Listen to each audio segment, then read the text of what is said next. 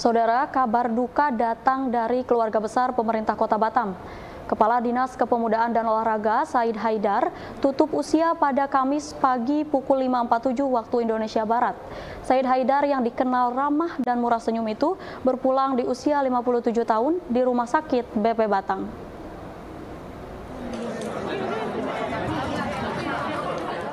Kabar berpulangnya Said Haidar cepat menyebar di masyarakat, terutama pegawai Pemko Batam pada Kamis pagi.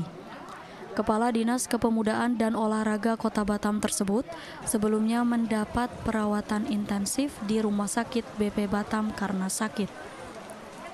Sebelum di Rumah Sakit BP Batam, Said Haidar sempat dirawat di RSUD Embung Fatimah. Dari beberapa pengakuan koleganya di Pemko Batam, Said Haidar memiliki riwayat penyakit jantung. Di mata wali kota Batam sebagai atasan Said Haidar, ia merupakan pegawai yang loyal dan bertanggung jawab terhadap tugas yang diamanahkan. Rudi mengenal Said sejak menjabat wakil wali kota Batam. Karena kebaikan dan keramahan almarhum, Rudi mengaku merasa sangat kehilangan. Mungkin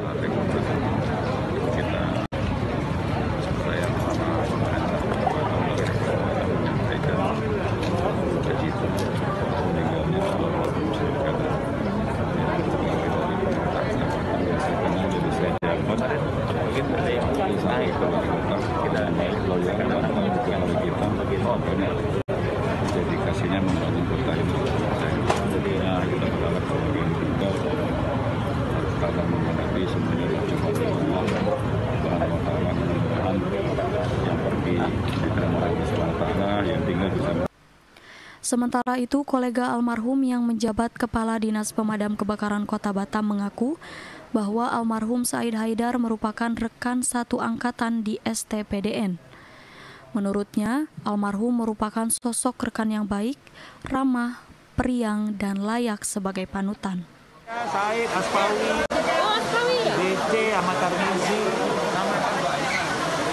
Pak, mengenal almarhum ini seperti apa dia hari-hari biasanya? Pak? Uh, almarhum ini orangnya baik, orangnya uh, happy, orangnya ceria orangnya, orangnya ceria, orangnya orang seni, hmm. orangnya orang seni, orangnya itu fleksibel lah kalau bergaul gitu ya.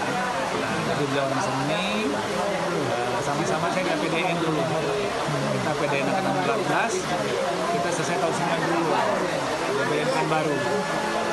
Setelah kita bertugas ke ke mana-mana, dia pernah jadi camat, sambil saya Sebelum menjabat Kadispora Batam, almarhum Said Haidar pernah menduduki jabatan Kepala Dinas Kependudukan dan Pencatatan Sipil.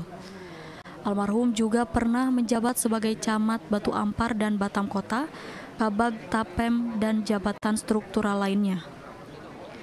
Pria kelahiran Kepulauan Riau 4 Mei 1964 tersebut meninggalkan seorang istri dan tiga orang anak. Pejabat eselon 2 Pemko Batam tersebut dikebumikan di pemakaman umum Sei Temiang. Demikian Aloysius Andiwardana melaporkan.